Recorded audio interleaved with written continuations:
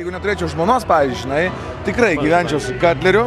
Mes turėtumėm atskirus kambarius, seniai, bet e, manau, kad geimintumėm viską iš eilės. Tikrai neišeitumėm iš namų, turėčiau tokią barzdą, būčiau dvi savaitės nesiprausęs ir kalčiau žaidimus. dėžių pilnam. Taip, nes nieko nėra geriau. Miksu važinėtume pasaulio. Taip. Manau, kad League of Legends. Kodėl? Todėl, kad įdomu ne tik žaisti, bet ir žiūrėti, žinai. Tai yra, aš manau, pusė, pusė žaidimo esmės. Assassin's Creed Syndicate. E, Jau praėjau 24 procentus, sugaišau tam apie 2 valandų. Man nuostabu yra kiekvienas pastatas, e, ten 19 amžiaus pabaiga Londonas, bet kur gali užlipti, bet ką pamatyti, visi tie landmarkiniai pastatai nuostabu tiesiog. Aš, man, jeigu aš turėt, galėčiau turėti super galę, tai pasirinkčiau keliauti laiku. Arba galėtum permėgot su bet kuriamu. Paskutinis klausimas, lietuvių. Jeigu vaikas yra gatvėje tuo metu, ne prie kompo, bala žino, ką jis veikia. Jis, kai sėdi prie kompo, jisai čiatinas kitais žmonėm.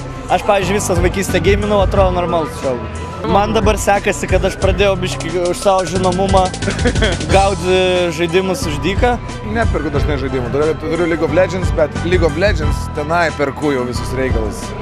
Negailiu pinigų tikrai tokiam dalykam, aš kai žaisdavau Travianą, ne, tai nu, dengdavau labai solidžią sumą. Aš turiu principą niekada neįkišti nei, nei centą žaidimą. Ta prasme, apart jo kainos. Jis turi principą niekada Jo, nekišt. aš žaidžiu, aš...